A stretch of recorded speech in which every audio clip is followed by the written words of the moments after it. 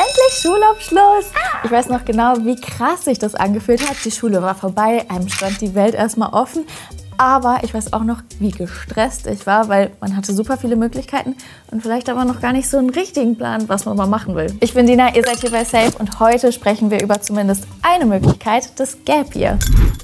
Was ist überhaupt ein Gap Year? Also erstmal ist es ein Jahr Pause bzw. eine Lücke, meistens zwischen zwei großen Bildungsabschnitten. Oft ist das dann zwischen Schule und Ausbildung oder Studium. Und für so ein Jahr gibt es super viele Möglichkeiten, aber welche ist die beste? Wenn ihr euch fragt, wie ihr ein Gap Year sinnvoll verbringen könnt, und zwar so, dass es euch am besten auch noch Jahre später etwas für eure Karriere bringt, dann seid ihr hier genau richtig. Wir klären, welche Optionen habe ich, was bringt mir am meisten für meine Zukunft und was muss ich dann bei der Planung jetzt schon beachten. Okay, wir stellen uns einmal vor, ich bin wieder 18, ich habe gerade mein Abi in Bochum gemacht und jetzt ist die Frage, was passiert nun? Ich weiß noch, dass ich damals richtig Angst hatte, irgendwas falsch zu machen. Also ich wollte, dass meine Planung wirklich perfekt ist. Ich wollte auf keinen Fall Zeit verlieren und das Recht sollte keine Lücke in meinem Lebenslauf entstehen. Deshalb habe ich direkt mit dem Studium angefangen, weil ich einfach so viel Stress gespürt habe. Heute weiß ich, voll der unnötige Stress und man macht auch nicht so richtig falsch, auch wenn der Weg am Anfang nicht so super geradlinig ist. Das hat mir auch Recruiterin und HR-Expertin Lina Sens gesagt, seit Jahren junge Talente vom Arbeitsmarkt in Jobs vermittelt. Und ich finde, kurze Stationen und Lücken sind nicht schlimm. Also ich persönlich, wenn bei mir Menschen ins Forschungsgespräch kommen, ich gucke mir immer den Mensch an. Ich gucke an, ob der mich begeistert und nicht, ob er ein Einser-Abi gemacht hat oder ob er mal anderthalb Jahre oder zwei Jahre gechillt hat.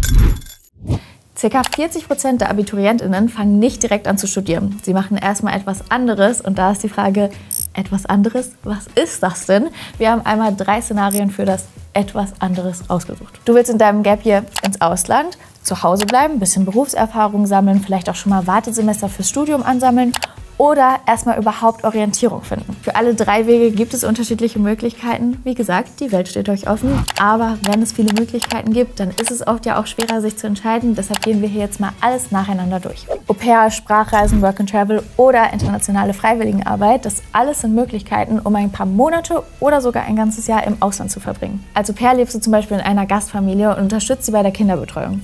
In der Regel wird dir dafür Unterkunft, Verpflegung und eine Art Taschengeld gestellt. Das Taschengeld variiert variiert je nach Arbeitsdauer und Aufenthaltsland. In den USA sind es pro Woche zum Beispiel 195,75 Dollar. In Spanien bekommst du pro Woche gute 60 Euro mindestens und in Deutschland sind es dann 90 Euro pro Woche. Wichtig ist, also Per ist man nicht in einem normalen Arbeitsverhältnis, sondern es gilt als sogenannter kultureller Austausch. Deshalb gibt es auch keine Verpflichtungen wie zum Beispiel Mindestlohn oder rechtliche Urlaubsansprüche. Auch wichtig zu beachten, Au pairs tragen oft die Kosten für zum Beispiel An- und Abreise, für die Vermittlung bzw. die Organisation, für ihr Visum, sonstige Pflegeversicherung oder auch für mögliche Sprachnachweise bzw. Sprachkurse, die du vor Ort machen willst. Und klar, auch wenn man vor Ort noch was kaufen will, muss man das auch selber bezahlen, zum Beispiel sowas wie Souvenirs. Manche Familien entscheiden sich zwar dazu, die An- und Abreise mitzubezahlen, das muss aber nicht sein. Wenn ich als Au pair ins Ausland gehe, was sind da Vorteile, was kann ich da vielleicht für später mitnehmen?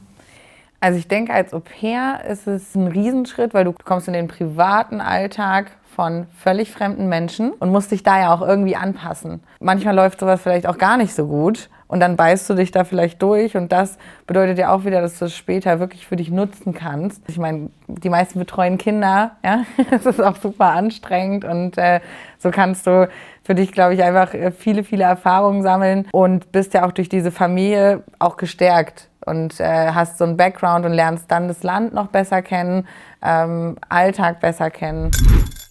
Wer keinen Bock auf Kinderbetreuung hat, aber vielleicht trotzdem eine Sprache lernen will, für den könnte eine Sprachreise das Richtige sein. Aber, da wichtig zu beachten, das kann ziemlich teuer werden.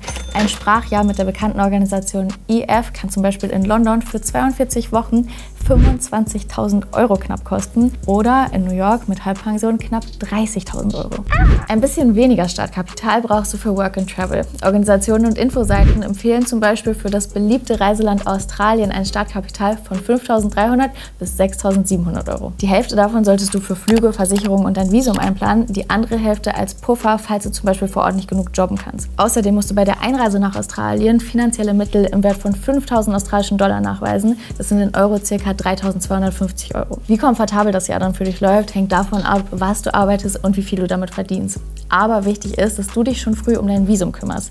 Je nach Einreiseland sind da die Vorgaben unterschiedlich. Für Australien ist es zum Beispiel so, dass du ein Working Holiday Visa oft beantragen müsstest. Das solltest du mindestens mehrere Wochen im Voraus beantragen, denn vielleicht musst du dich noch um Gesundheitschecks oder andere Nachweise kümmern. Und für Auslandsreisen empfiehlt sich immer noch, auch noch eine Auslandskrankenversicherung abzuschließen.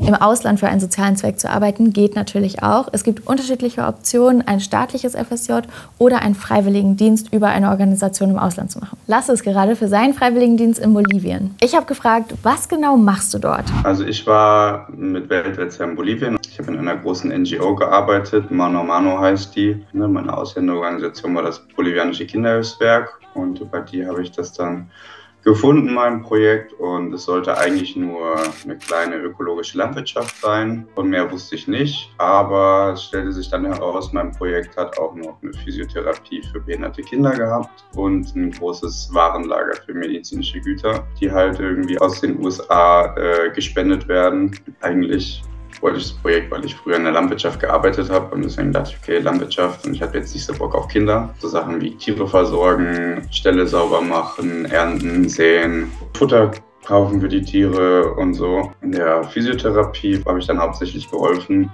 Genau, und im, im Lager Kisten von A nach B bringen, Kisten aufmachen, reingucken, in andere Kisten packen, Kisten wieder zumachen. So. Was mich natürlich vor allem interessiert hat, wie viel verdient man da und wie viel muss man vielleicht auch selber zahlen? Die Kosten fürs ganze Jahr belaufen sich, glaube ich, auf ungefähr 11.000 Euro. Der 75 Prozent übernimmt ja aber der Staat mit seiner Weltwärtsinitiative. Das heißt, man wird gebeten, 2800 Euro an Spenden aufzubringen. Ich habe zum Beispiel bei mir im Bekanntenkreis viel rumgefragt und genau damit wirst du halt das ganze Jahr versorgt. Also die Flüge werden gebucht. Äh, man bekommt im Monat ein Taschengeld, was von Region zu Region unterschiedlich ist. Ich hatte zum Beispiel in Cochabamba 235 Euro monatlich. Am Ende gehst du ziemlich mit, mit Null raus. Also du wirst nicht reich und auch nicht arm. Also je nachdem, was du machst. Wenn du natürlich jetzt Wochenende rumreist, dann wirst du schon irgendwann arm. Aber ansonsten kommst du am Ende mit, mit ziemlich null raus. Einen geeigneten Einsatzort für den Freiwilligendienst im Ausland zu finden, ist unter Umständen gar nicht so einfach. Es gibt an diesen Diensten nämlich auch ziemlich viel Kritik. Das kommt ja erstmal von einem guten Platz im Herzen, sage ich jetzt mal. Ne? Also das ist wichtig, wir wollen uns alle engagieren, wir wollen uns sozial engagieren vielleicht oder für, für die Natur oder sonst was. Ich sollte einfach kritisch hinterfragen, ist das denn wirklich hilfreich, was ich da mache? Das heißt, erschaffe ich wirklich einen Mehrwert da, wo ich hingehe, unter verschiedenen Aspekten. Wie lange bin ich denn da? Wie nachhaltig kann ich mich da jetzt wirklich engagieren? Wie viel kann ich beitragen? Ähm, was für Kenntnisse habe ich vielleicht auch, die ich einbringen kann? Oder auch ehrlich zu sich selber zu sein, vielleicht habe ich in dem Bereich auch keine Kenntnisse und sollte deswegen eine niedrigschwelligere Arbeit mir da suchen. Wie kann ich eine gute von einer schlechten Organisation unterscheiden? Also ich sollte einfach schauen, bei was für einem Anbieter ähm, finde ich denn vielleicht einen Dienst, den ich übernehmen kann. Das heißt, natürlich gibt es da staatliche Programme, die wir äh, in erster Linie empfehlen. Das sind dann auch längerfristige Aufenthalte zwischen sechs Monaten und zwei Jahren, wo man dann wirklich sagen kann, da kann ich vor Ort ankommen, da kann ich mich engagieren, da habe ich auch einen festen Rahmen, in dem klar ist, diese Aufgaben erbringe ich diese Einarbeitung bekomme ich, diese Ressourcen bekomme ich auch an die Hand. Okay, aber auch noch wichtig zu wissen, wie sieht es denn im Gap Year im Ausland mit dem Kindergeld aus? Generell, Kindergeld wird einkommensunabhängig an alle Familien mit Kindern unter 18 Jahren gezahlt. Wenn du aber in einer Ausbildung bist, bekommst du das Kindergeld auch noch bis zu 25 Jahren. Wenn du arbeitssuchend bist, dann bis 21. Man kann das so ein bisschen so zusammenfassen, dass generell gilt, wenn du gerade nicht in der Ausbildung bist oder ein Studium machst, dann hast du keinen Anspruch auf Kindergeld, es sei denn, du machst einen Sprachkurs oder zum Beispiel ein berufsvorbereitendes Praktikum. Bei einem FSJ oder beim FÖJ wird auch im Ausland weiteres Kindergeld gezahlt. Spannend für alle, die vielleicht nur ein paar Monate weg wollen, bei Zwangspausen zwischen zwei Ausbildungen, also zum Beispiel zwischen der Schule und dann Ausbildung, Studium oder Freiwilligendienst, wird für vier Monate das Kindergeld weitergezahlt, wenn du denn dann nach diesen vier Monaten auch wirklich mit dem Bildungsweg weitermachst. Machst. Und wenn du nachweisen kannst, dass du dich ernsthaft um einen Ausbildungs-, Studiums- oder Arbeitsplatz bemüht hast, aber einfach keinen gefunden hast oder den Platz nicht bekommen hast, dann kannst du auch weiter Kindergeld bekommen und vielleicht dann diese Zeit nutzen. Aber nicht jede Person möchte unbedingt ins Ausland und das ist auch okay, weil auch hier in Deutschland gibt es einiges zu tun. Wenn du dich sozial oder ökologisch engagieren willst und dir das vielleicht sogar noch als Wartesemester oder Praxiserfahrung anrechnen lassen möchtest, dann könnte ein FSJ, ein FÖJ oder ein BFD genau das Richtige sein für dich. FSJ steht für Freiwilliges Soziales Jahr. Du leistest in der Zeit einen freiwilligen Dienst im sozialen Bereich und auch wenn der Name es vermuten lassen könnte, es muss nicht immer ein Jahr lang sein. Die Dauer kann zwischen 6 bis 18 Monaten liegen. In dieser Zeit leistest du praktische Arbeit in deiner Einsatzstelle in Vollzeit ab und nimmst an meist fünftägigen Bildungsseminaren teil. Diese Seminare werden für dich organisiert und du triffst dabei andere FSJler und arbeitest mit ihnen dann zu Themen wie Berufsorientierung oder Nachhaltigkeit. Wenn du ein Jahr lang dein FSJ machst, dann hast du meist fünf von diesen Bildungsseminaren. Soweit, so gut, aber wichtig für uns, wie sieht es da mit dem Geld aus? Du bekommst monatlich, jedenfalls nach aktuellem Stand, mindestens 410 Euro und maximal 438 Euro. Dieser Mindestbetrag setzt sich zusammen aus 370 Euro Taschengeld und 40 Euro Verpflegungspauschale. Das ist an der Stelle für mich ehrlich gesagt ein Knackpunkt, weil soziales Engagement ist super wichtig für die Gesellschaft und auch für die Weiterentwicklung kann es richtig gut sein, aber für 40 Euro einen Monat lang Verpflegung einkaufen ist schon sehr knapp bemessen. Dein Taschengeld kannst du ein bisschen aufstocken durch das Kindergeld, das wird nämlich weiter bezahlt. Und ein weiterer Pluspunkt, auch deine Versicherungen werden übernommen. Deine Einsatzstelle zahlt deine Kranken-, Renten-, Arbeitslosen-, Unfall- und Pflegeversicherung weiter. Und die Zusatzbeiträge, die manche Krankenkassen erheben, musst du als Freiwilliger auch nicht zahlen. Und wie sieht es mit dem Wohnen aus? Manche Einsatzstellen haben eventuell kostenfreie Unterkünfte, die sie dir anbieten können. Andere haben das vielleicht eher nicht, bieten dafür aber Geldersatzleistungen an, wie zum Beispiel Fahrkostenzuschüsse. Wenn man jetzt überlegt, ein FSJ zu machen, sollte man aber schon darüber nachdenken, dass man nicht so hohe Ausgaben hat, vielleicht auch noch zu Hause wohnen bleibt und nicht das Geld als Hauptmotivation sieht, weil so super viel Geld verdient man da einfach nicht. Man sollte am besten andere Dinge haben, die einen motivieren außerhalb des Geldaspektes. Zum Beispiel sowas wie, dass man sich selber weiterentwickeln möchte oder dass man der Gesellschaft was zurückgeben möchte. Weil klar, wir können uns alle wünschen, dass soziales Engagement fairer bezahlt wird.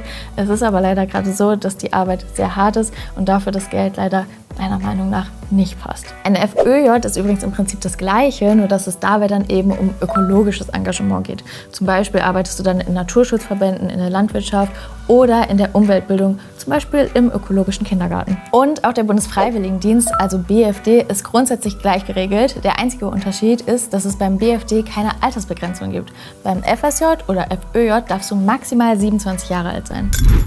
Was würdest du sagen, was sind Skills, die ich da mitnehmen kann? Ich denke, egal welchen Job du später einschlagen willst, also wenn du es zum Beispiel im ökologischen Bereich machst, du nimmst da ja ganz viel mit. So, du lernst ähm, verschiedene Skills und dieser Arbeitsalltag, ich glaube, das darf einfach nicht unterschätzt werden. Ich weiß noch, wie kaputt ich war, als ich das erste Mal arbeiten gegangen bin ähm, und nach Hause gekommen bin und dachte, wow, und das machst du dann fünf Tage die Woche. und wenn du vielleicht schon eine gewisse Richtung hast, wie zum Beispiel du sagst, okay, ich möchte vielleicht Erzieherin werden oder ich möchte Sozialarbeiterin werden, dann sind die, diese Jahre absolut sinnvoll. Wenn du jetzt denkst, das ist es, dann such dir am besten eine Einsatzstelle raus, die dich interessiert und dann bewirb dich schon relativ früh, am besten ein halbes Jahr im Voraus. Es kann manchmal aber auch kurzfristig klappen, also kein Grund, es nicht zu versuchen. Vielleicht weißt du aber auch nicht, was du überhaupt machen willst und kannst das ja dann nutzen, um das herauszufinden. Vielleicht willst du zum Beispiel erstmal austesten, ob Studieren überhaupt das Richtige für dich ist. Dann könntest du über ein Orientierungsstudium nachdenken. Da gehst du dann ein bis zwei Semester an die Uni und kannst unterschiedliche Studiengänge oder Studieninhalte kennenlernen.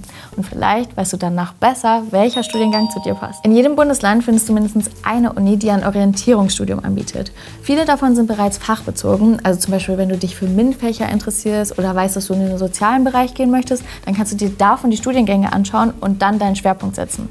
Manchmal ist es aber auch so, dass du ganz offen zwischen allen möglichen Fachrichtungen auswählen kannst und überall mal ein bisschen reinschnuppern kannst. Natürlich ist Studieren aber nicht die einzige Option. Auch erstmal unterschiedliche Praktika zu machen, kann helfen. Definitiv. Also ich finde diese Orientierungsphasen, einfach zu gucken, was kann ich vielleicht machen. Ähm, ich habe zum Beispiel mein Praktikum bei der Hebamme gemacht.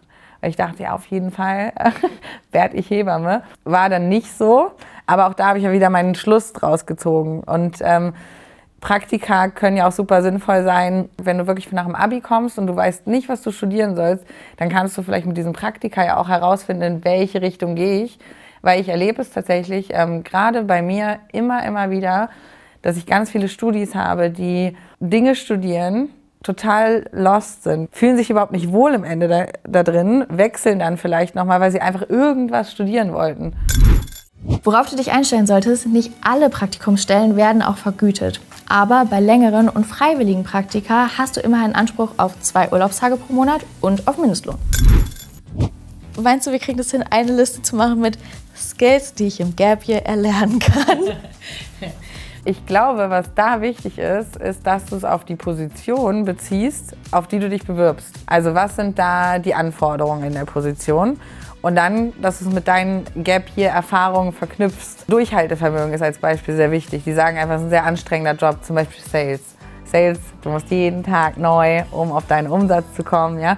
Dann kannst du das natürlich super auf dein Gap Year beziehen, weil du vielleicht sagen kannst, ja, ich habe im Work and Travel irgendwie mir ständig einen neuen Job gesucht. Und ich denke, dass das alles Punkte sind, dass du es wirklich auf die Position vorher beziehst. Weil allgemein kannst du es nicht sagen. Es ist ja alles total unterschiedlich. Aber bring deine Erfahrungen ehrlich mit. Und wenn es wirklich nur das Kiwi-Pflücken war. Ja? Äh, was war da hart? Was kann ich da auf den neuen Job beziehen?